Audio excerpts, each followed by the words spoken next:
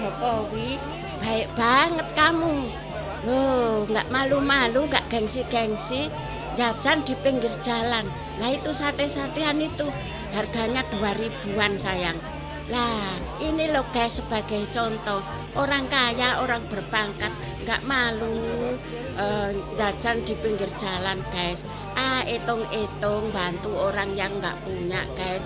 Ah lebih baik lagi kalau ah, kalau ada susuk-susuk kasihkan guys jangan diambil lagi susuknya.